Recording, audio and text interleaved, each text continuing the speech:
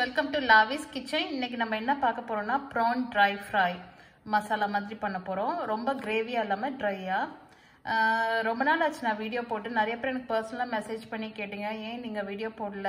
ஏன் ரொம் என்ன ஆச்சுன்ட்டு.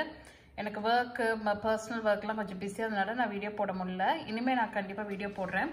சரி இப்போ எப்படி பண்ணலான்னு பார்க்கலாம். ப்ரான் வந்து நான் ஹாஃப் ஹாஃப் கிலோ ப்ரான் வந்து க்ளீன் பண்ணி வாஷ் பண்ணி வச்சுருக்கேன்.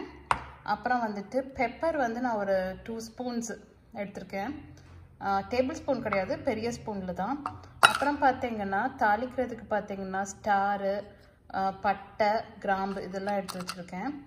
அப்புறம் இதில் பார்த்தீங்கன்னா கொஞ்சம் மஞ்சத்தூள் கொஞ்சம் சில்லி பவுடர் சில்லி பவுடர்னால் வெறும் சில்லி பவுடர் கிடையாது கொஞ்சம் தனியாவோட சேர்ந்து. ஸோ ரெண்டு ஸ்பூன் சில்லினா ஒரு ஸ்பூன் தனியாவோட கலந்தது. அப்புறம் வந்து சோம்பு கொஞ்சம் கொஞ்சம் உப்பு.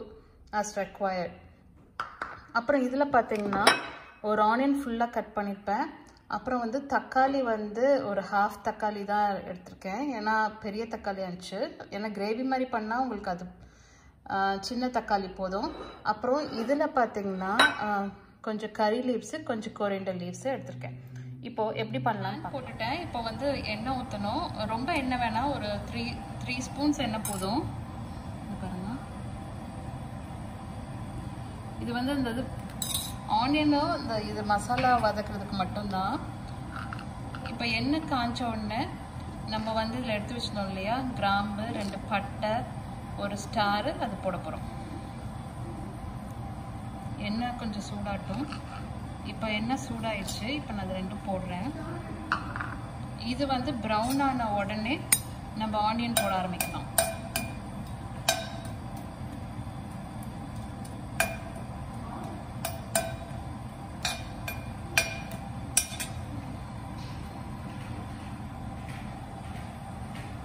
கொஞ்சம் கலர் மாறிடுச்சு. இப்போ நான் ஆனியன் போட ஆரம்பிக்கிறேன்.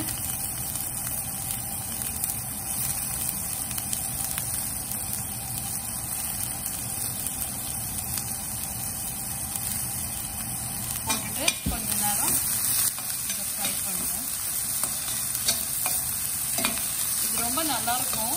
நீங்கள் ட்ரையாக பண்ணிங்கன்னா ரொம்ப நீங்கள் ஆக்சுவலாக வந்து நிறைய பேர் வச்சு சாப்பிட்லாம். கொஞ்சம் வந்து ப்ரௌன் ஆனோடனே நம்ம தக்காளி போட ஆரம்பிக்கலாம். கொஞ்சம் வந்து லோ ஃப்ளேமில் வச்சுக்கோங்க. இல்லைன்னா ரொம்ப கறி பிடிக்கும். இது கொஞ்சம் வந்து ப்ரௌன் ஆகட்டும். ப்ரௌன் ஆனோடனே நம்ம தக்காளி போட ஆரம்பிக்கலாம். இதுக்கு நடுவில் நம்ம கொஞ்சம் கருவேப்பிலை.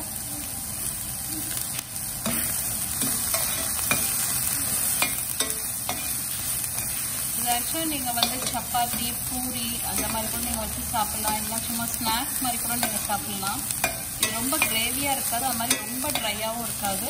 இன்பிட்வீன் ஸ்டேஜில் இருக்கும். கண்டிப்பாக ட்ரை பண்ணி பாருங்கள் இப்போ கொஞ்சம் ஆனியன் வந்து வதங்கிடுச்சு. கலர் பாருங்கள் கொஞ்சம் மாறிடுச்சு. இப்போ வந்து தக்காளி போடலாம்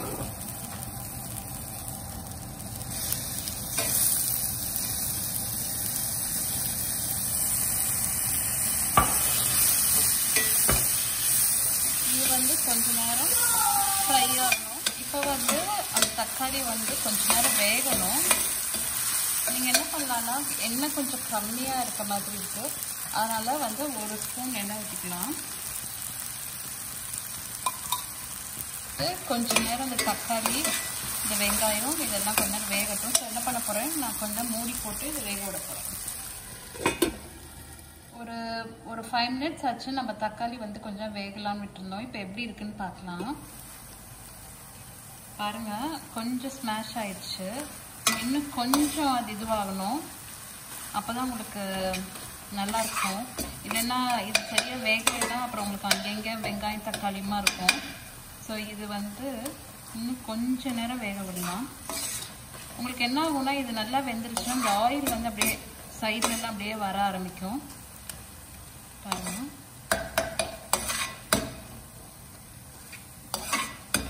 இப்போ வந்து நான் என்ன பண்ண போகிறேன்னா இங்கே பாருங்கள் நான் அந்த மசாலா எடுத்து வச்சுருந்தேன் இல்லையா? கொஞ்சம் சோம்பு உப்பு மஞ்சத்தூள் கொஞ்சம் சில்லி பவுடர் சில்லி பவுடரில் வந்து கொரியண்டர் பவுடரும் கலந்துருக்கு. ஸோ இதையும் நான் இதில் போட போகிறேன் போட்டுட்டு இதை வந்து கொஞ்சம் நேரம் வதக்க போகிறேன்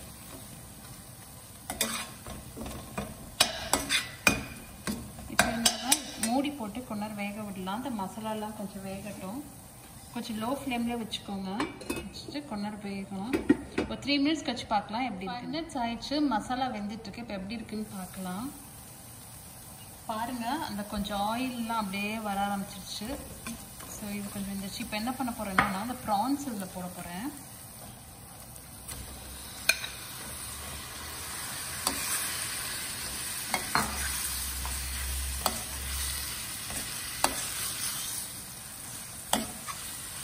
இப்போ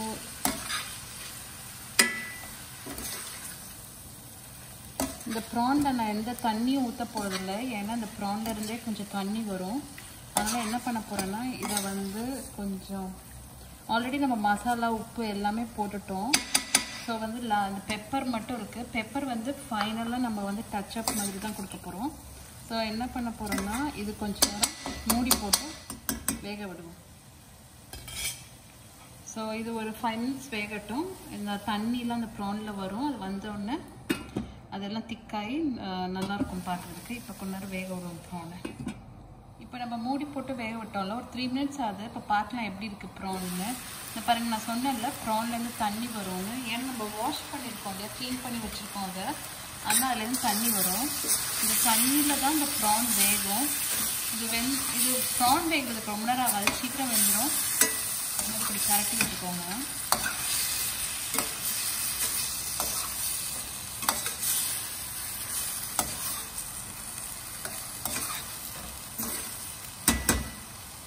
இன்னும் கொஞ்ச நேரம் மூடி போட்டு வேக விடுவோம்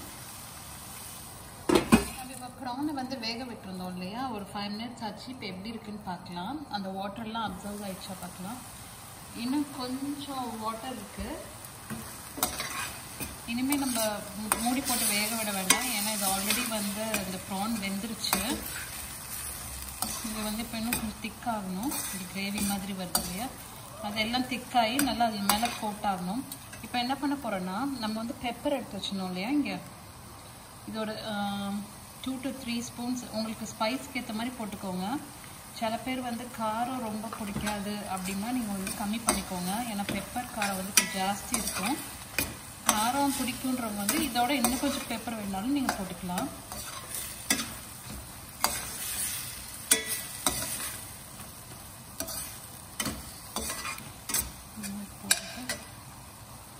இது வந்து நீங்கள் குழந்தைங்களுக்குலாம் கொடுக்குறீங்கன்னா கொஞ்சம் கம்மியாக போட் போட்டுக்கோங்க பெப்பர் காரம். ஏன்னா இது மெயின் காரமே பெப்பர் தான். ஏன்னா கொரியண்டர் அந்த சில்லி பவுடர் வந்து கிட்டத்தட்ட ஒரு spoon one and half spoons தான் எடுத்துருக்கோம் ஸோ இதுதான் காரம். இது வந்து நீங்கள் குழந்தைங்களுக்கு காரம் கம்மியாக பண்ணிவிட்டு ஒரு சப்பாத்தி எதாவது பண்ணிவிட்டு அதுக்குள்ளே ரோல் பண்ணி கூட நீங்கள் கொடுக்கலாம். பாருங்க திக்காயிட்டு வருது.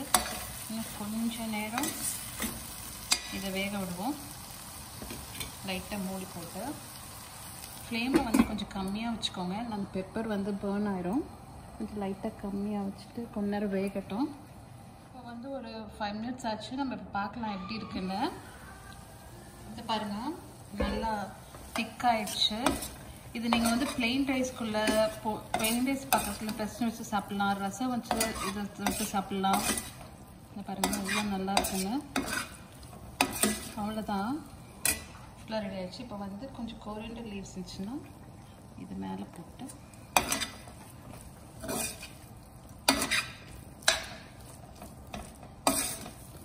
அவ்வளோதான் dry pepper dry pepper prawn ready ஆயிடுச்சு. ரொம்ப சிம்பிளுங்க இது ரொம்ப கஷ்டம்லாம் கிடையாது. ரொம்ப சிம்பிளு அதுவும் இந்த மாதிரி பெரிய பெரிய ப்ரான்ஸாக இருக்கனால இன்னும் நல்லாயிருக்கும் சாப்பிட்றதுக்கு.